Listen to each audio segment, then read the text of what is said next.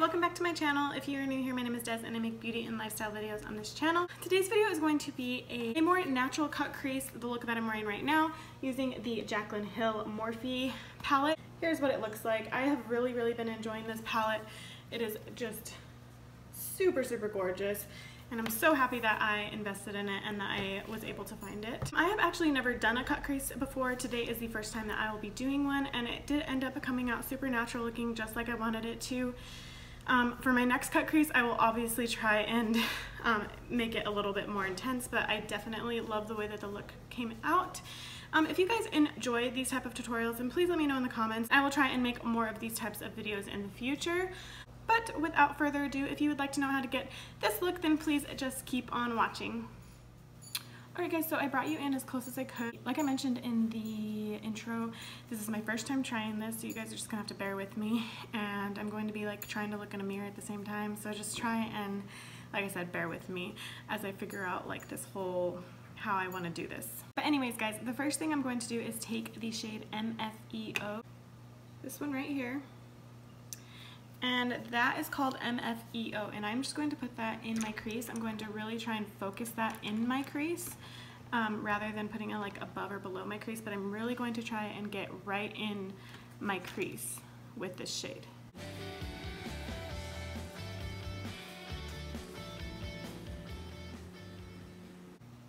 So like I said, really trying to get just in that crease and if you have hooded eyes like myself, I don't have super prominent hooded lids, but I do have hooded lids and it when you're putting the colors in your crease, it's okay to go a little bit above that just because with hooded eyes, it's kind of hard. Your lid tends to get hidden, so if you go a little bit above that, then it will help to bring out the colors that you put in your crease.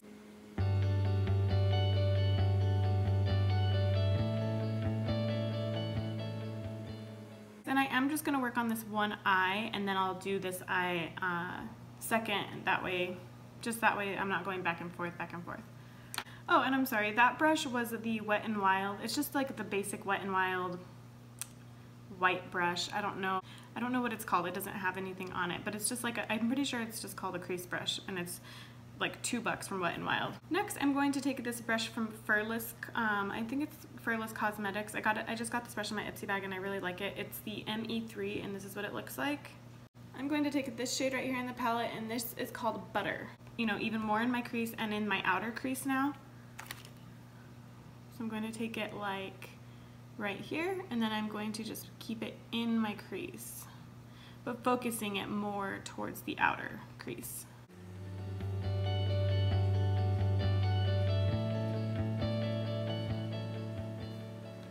And I do want to start trying to get a little bit even darker now. So what I'm going to do, is I'm going to take the shade Jax in the Jaclyn Hill palette and it is the dark maroon shade. It's like a dark reddish brown shade and it's gorgeous, gorgeous, gorgeous. And I'm going to use my Glamour Dolls brush. I'm not sure which one this is. Again, it's an Ipsy it's an Ipsy bag brush uh, and that I really, really like. But I'm going to take this brush and I'm going to really, really try and focus this more so on my outer on the outer part of my eye and just taking a little bit into the crease. But really trying to focus that on the outer part of the eye. So as you can see, I have it down now, and I really just want to pack a lot of that color on and then go in with a different brush and blend more into the crease.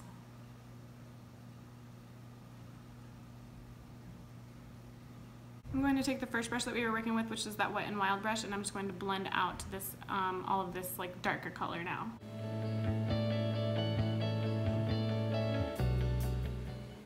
So now that I have this all blended out, I'm going to start with the concealer part of everything. Um, I am going to take my Tarte Shape Tape Concealer. It's my favorite concealer and it works really, really well. I'm just going to put a little bit of that on the back of my hand. And I'm going to take the smallest little, like, most precise brush that I have. And that one is, I think this is from, I want to say this is from Coastal Scents and it's the BRCS01 brush. And it looks like this. It's literally like the tiniest little brush um, and I always use it to carve out my eyebrows. So for this, I figured this brush would work perfect for this. So I'm going to get this brush nice and full with the concealer on both sides of the brush.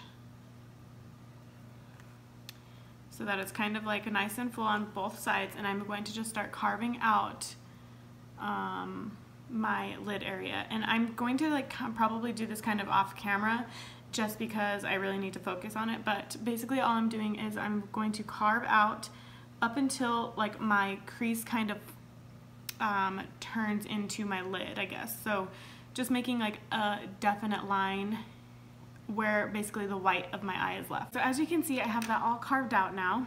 And I will just kind of close my eyes and come up a little closer so you can see kind of what I did. I did end up going a little bit higher than I intended to just because I thought I wanted, you know, whenever my eyes are open and talking, I kind of still want you to be able to see that like cut in there. This isn't like a super intense cut crease, obviously, just like a super like really casual. I don't want to mess it up and so what I did was I did that with my, uh, I carved out with my Tarte um, Shape Tape Concealer and then I took the shade in Light in the Jaclyn Hill palette, it's the lightest color, and I just kind of set my lid with that. But now I'm going to go on top with another more intense like glitter, glittery shade. So I am going to take the shade Little Daddy in the Jaclyn Hill palette and it is this really pretty like rose gold, um, rose gold pinkish color and I'm going to put that all over my lid and I'm going to take my little e.l.f. brush for this to pack on the color. This is the e.l.f. I don't know which one it is. It's another one of the, like, it's just a, one of the basic e.l.f. brushes.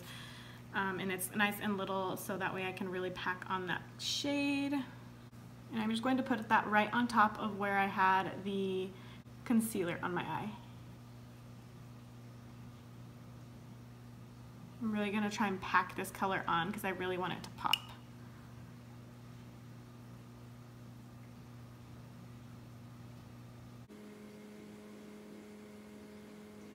And I just remembered something, a little bit of advice. When you are putting on your concealer and carving out that area, do not open your eye because the concealer will transfer from your lid to your crease before, so don't open your eye before you set your concealer.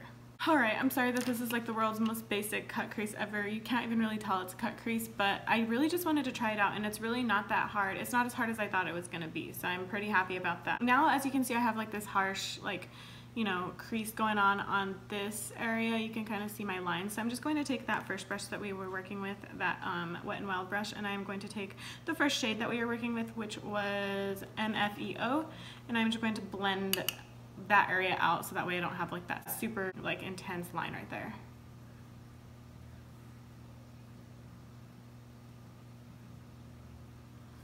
So as you can see, that's just blending out real nice and easy.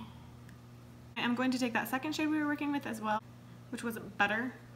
I'm just going to kind of just place that on the outer area as well. And last but not least, I'm going to take my wet and another just Wet n Wild flat brush, and I'm going to highlight my brow bone using the shade in Light once again.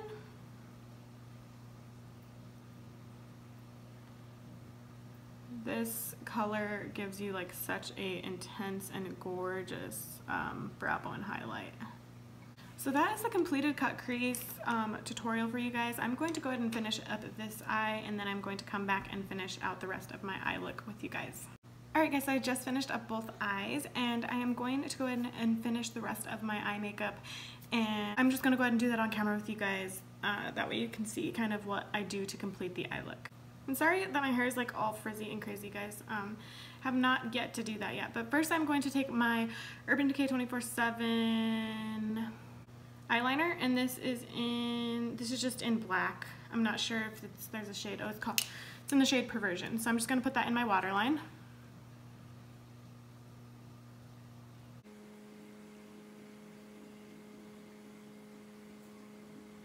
Then I'm going to take just a real like tiny uh, little crease brush and I'm going to take the darker shade, the dark, the Jax shade out of the Jaclyn Hill palette and I'm going to just line, or I'm going to put that down here on my waterline. I'm going to try to make it not look too intense because I don't want like a super intense eye look. I still want it to look natural, but I do want something down there.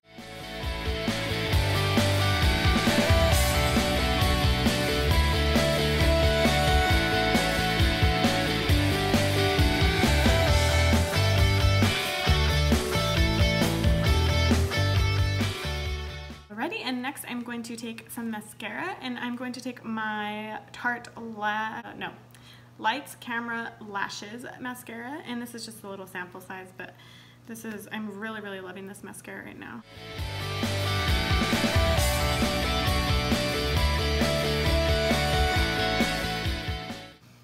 Guys tell, I'm not doing any winged eyeliner, or any eyeliner on the lid at all, just because I don't really don't want to take away from the like natural cut crease that I do have going on. I just want to keep it like super just natural and uh, I don't want to add too much to the look. But I'm going to put that mascara on top and bottom.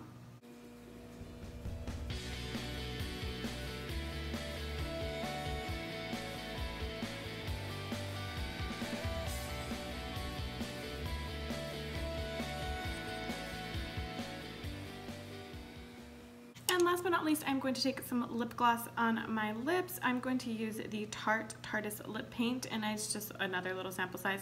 This is in the shade, I have no idea what shade this is in, but it's like a really pretty, like a darker pink. It almost matches the eyeshadow that we put up on our lid.